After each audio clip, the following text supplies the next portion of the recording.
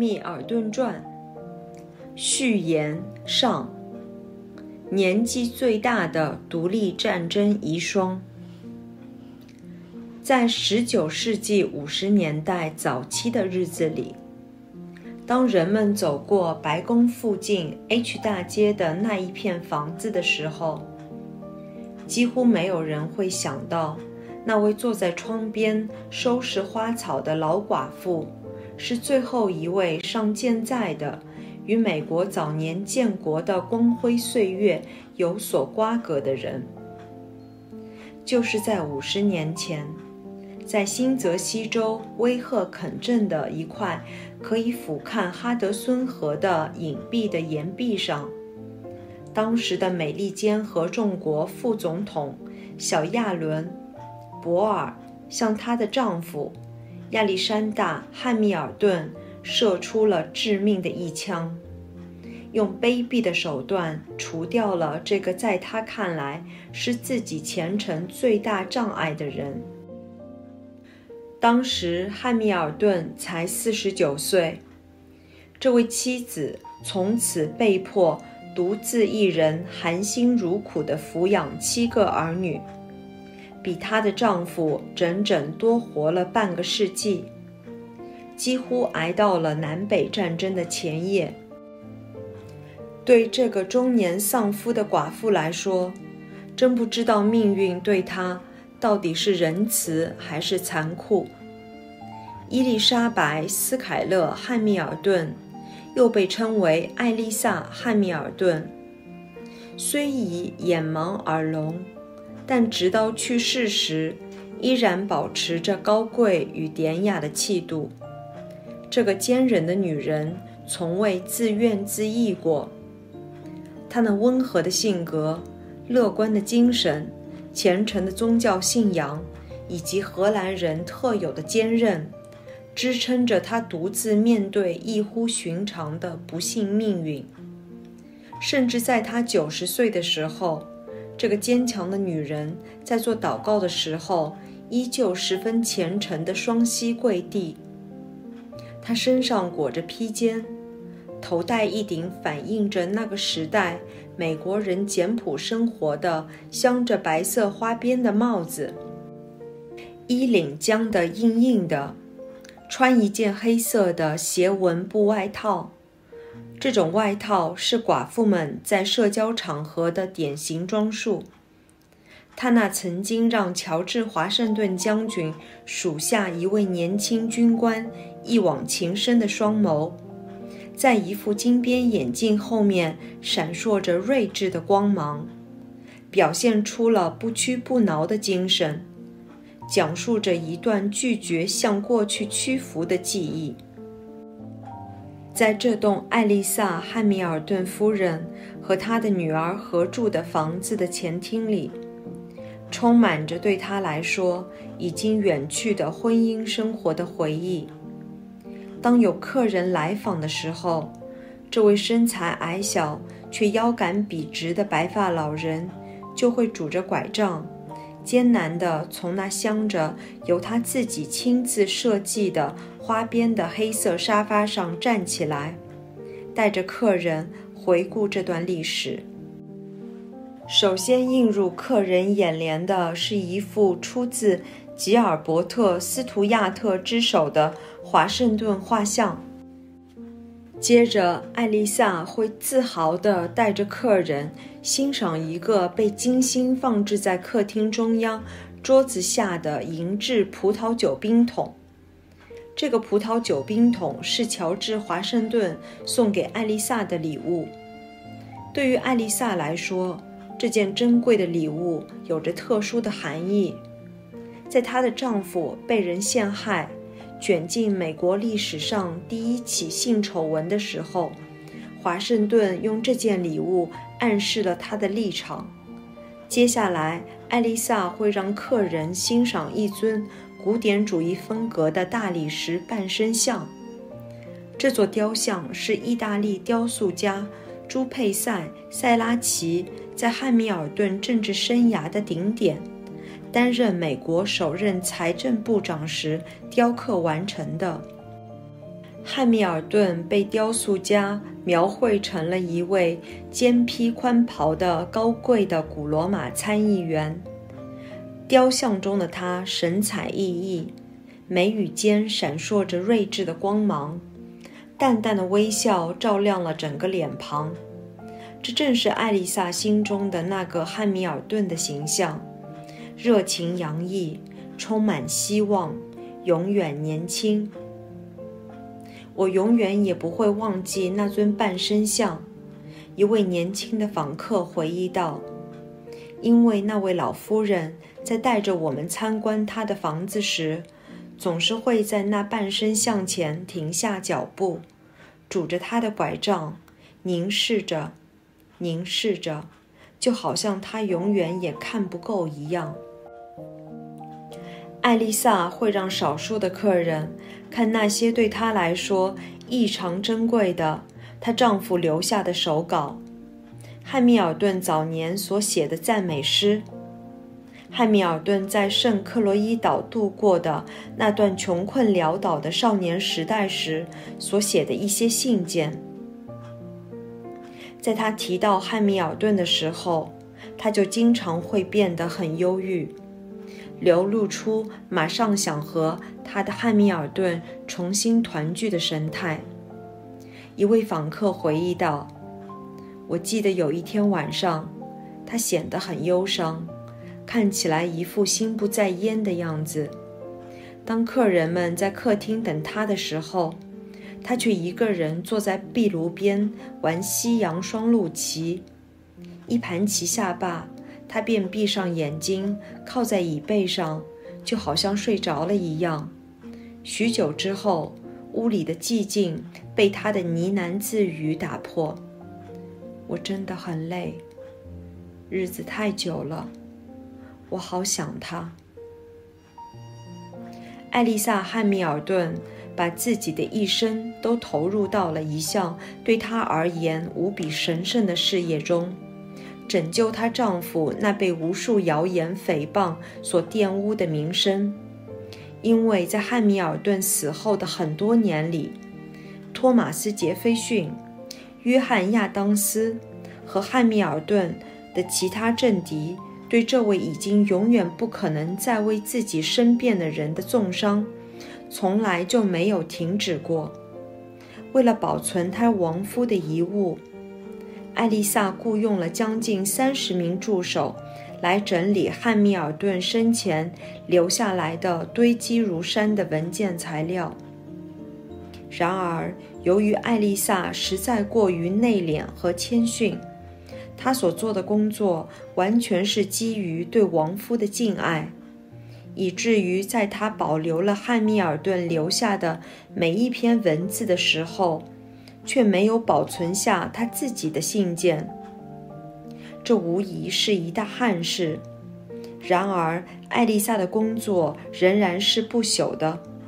他投入自己的一生来做这件事的精神支柱。就是希望有一天能够有一本百科全书般的权威传记问世，以捍卫他亲爱的汉密尔顿在共和国先贤词中的地位。对这本书的长久等待，足以让人发狂。在一个又一个的传记作家半途而废，或者耗手穷经却依然无所作为之后，自然而然的。这巨大的责任就落到了艾丽萨的四子约翰·丘奇·汉密尔顿的肩上。最终，他将他父亲的事迹整理出了一部七卷本的浩大的传记。可惜的是，在这件原本应是送给艾丽萨的最好的礼物最终完成之前，他却先走了一步。在1854年11月9日，艾丽萨·汉密尔顿离开了人世，享年97岁。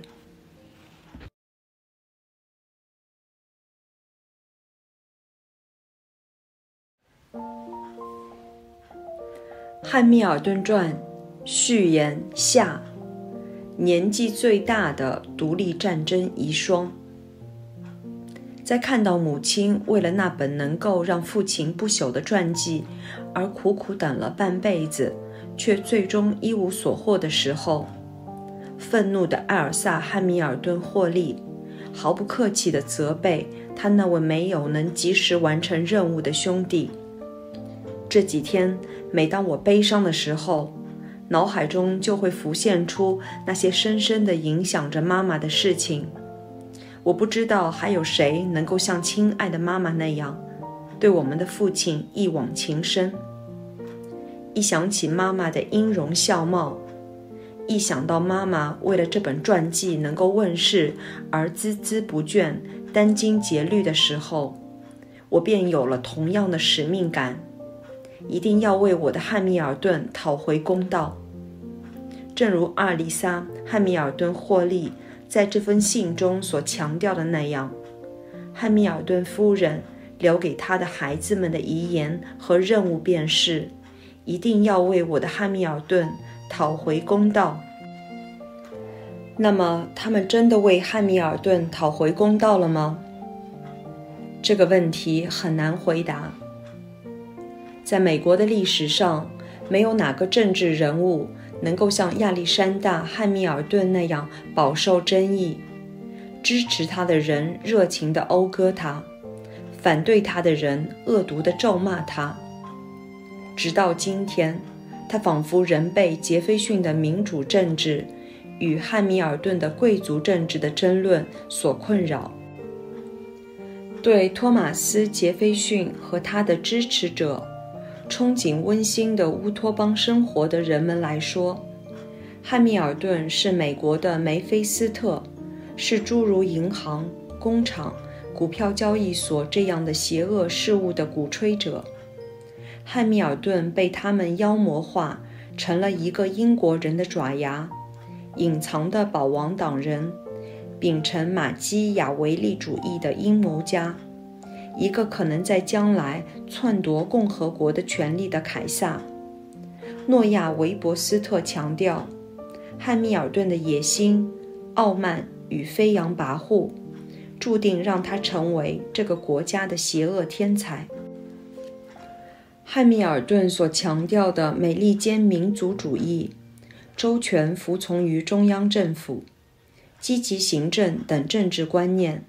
无法不让人担心，这种如英国王室当年的统治方式会在美国复辟。汉密尔顿那表面上对财富的热衷，使得批评家们将他描绘成一个蔑视人民大众的财阀的走狗。对于另外一些批评者来说，汉密尔顿始终坚持美国应当拥有一支专业化军队的主张。更是表明了他是一个潜在的暴君。从他所写的每一个字里，都能读出拿破仑似的冒险主义。历史学家亨利·亚当斯断言道：“即便是汉密尔顿的一些崇拜者，对这位有着西印度群岛移民背景的伟人的态度也很暧昧。”伍德罗·威尔逊。勉强地称赞汉密尔顿是一个伟大的人，但不是一个伟大的美国人。然而，仍然有许多著名的评论家与艾丽萨·汉密尔顿持有相同的看法。他们认为，人们对汉密尔顿的批评有失公允。汉密尔顿不像其他的开国元勋那样。被人们用堆积如山的传记去歌功颂德。英国政治家布莱斯勋爵指出，在美国的缔造者中，唯有汉密尔顿没有得到应有的后世评价。在他的《美利坚联邦》这本书中，布莱斯勋爵总结道：“对于欧洲人来说，最有意思的是，是谈及这个伟大人物时，他的同胞，无论是他的生前还是身后，似乎都从未承认过他的非凡天赋。在以民族主义和积极政府为特征的改革派共和主义大行其道的时代。”西奥多·罗斯福赞扬汉密尔顿是美国历史上最优秀的政治家，是那个时代最杰出的智者。他的白宫接班人威廉·霍华德·塔夫托同样称赞汉密尔顿是我们这个国家最伟大的政治家。可以说。从未担任过总统的亚历山大·汉密尔顿，应该是美国历史上最有影响力的政治人物。他对美国历史的影响，恐怕远比某些当过总统的人物要深远得多。作为一个思想家、实践者、高谈阔论的理论家与手腕干练的执行者，汉密尔顿对于许多美国的开国元勋来说，可以算得上是双重的威胁。他和詹姆斯·麦迪逊是召集美国制宪会议的主要推动者，他们的作品《联邦党人文集》更是一部浓缩了美国立宪精神的文本。作为美国历史上的第一任财政部长和年轻的联邦政府架构的主要设计师。汉密尔顿将宪法原则带进了日常生活，将抽象的宪政理论融入了现实的制度。他那务实的态度影响了很多方面。他设计了可以平稳运转的联邦与周全分治架构及其预算体系、国债制度、税收体系、中央银行、海关。和海岸警卫队，并且做了大量的工作来证明这些制度的合理性。他的这些成就为行政权限界定了一个极高的标准，以至于无人能够望其项背。如果说杰斐逊用他的才华让政治演说充满了诗意，那么，汉密尔顿可以说是美国政体这篇大散文的最佳作者。再没有哪个美国开国元勋能够像他那样对美国未来的政治、军事和经济有着如此清晰的洞察力，也没有哪个开国元勋能够像他那样将这些机制整合在一起，使这片土地真正凝聚成了一个国家。汉密尔顿担任财政部长那繁忙的几年，并没有为其短暂而富有戏剧性的一生增加更多的故事。从他作为一个私生子在尼维斯岛出生，到他在威霍肯德血腥决斗中丢掉性命，汉密尔顿的一生充满了太多的喧嚣，以至于这样的经历。只有在最富有想象力的小说家的笔下，才会同一时间出现在同一个人身上。一个灰头土脸的西印度群岛移民，在美国改头换面，虽然没有正当的出身和良好的教育，却依然取得了巨大的成功。汉密尔顿从圣克罗伊岛一个郁闷的小职员。变成乔治·华盛顿内阁里手握大权的要员的经历，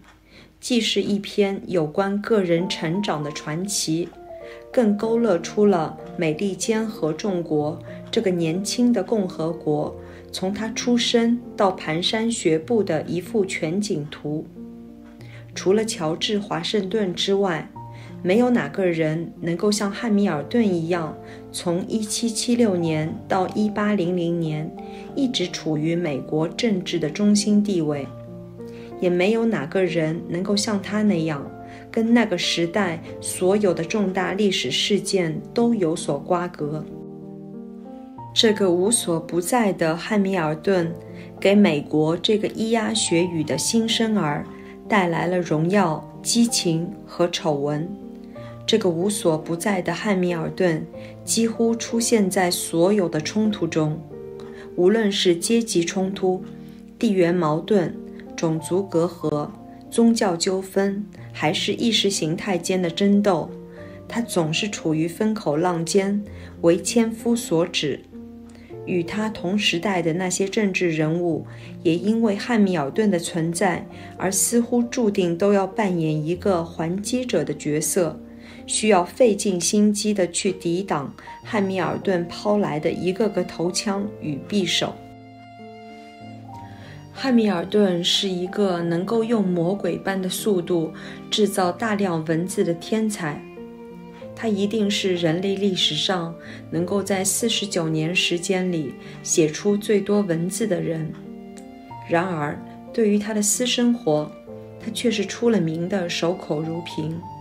尤其是对他那段不堪回首的在加勒比度过的少年时代。其他的开国元勋，没有一个像汉密尔顿那样和耻辱与不幸纠缠不清。与同时代的政治家们相比，汉密尔顿的青年时代也因此多了几分神秘感。在不削弱对他那多姿多彩的精神生活描写的同时，我尽力地搜集了有关汉密尔顿的种种轶事，以塑造出一个较丰满的人物形象。这个睿智的男人既迷人又冲动，既浪漫又诙谐。既活泼又顽固，没有哪个传记作家能够抵挡住诱惑，不去剖析汉密尔顿的精神世界。汉密尔顿尽管天赋异禀，但他长期被自己的暴躁与自负所困扰。他总是满腹牢骚，又无比好斗。他从来没有摆脱过人们对他人品的责难。他的机智更是经常被激动的情绪打败，使自己丧失最基本的判断力，以至于他最热情的追随者们都常常为此而目瞪口呆。一方面，他确实是个能够广交朋友的人，但是另一方面，他却与杰斐逊、麦迪逊、亚当斯、门罗和博尔这一干人等结下了不共戴天之仇。汉密尔顿担任财政部长期间所展现出的巨大才华，使他一生中的其他角色黯然失色。小职员、大学生、青年诗人、随笔作家、炮兵上尉、华盛顿的战时副官、战场上的英雄、国会议员、废奴主义者、纽约银行的创始人。州议员、制宪会议成员、纽约州宪法批准大会会员、演说家、律师、雄辩者、教育家、纽约晚报的庇护者、外交政策理论家、陆军少将，毫无疑问，是他直接促成了美国历史上第一个政治党派——联邦党的诞生。并且充当了该党的重要智囊，在华盛顿和亚当斯执政时期的连续四届总统选举中，他都发挥了关键作用。在这十六年中，美国的政治构架经他之手确立，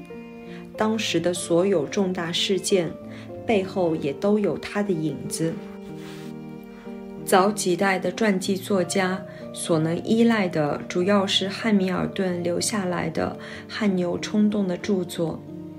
在1961年到1987年，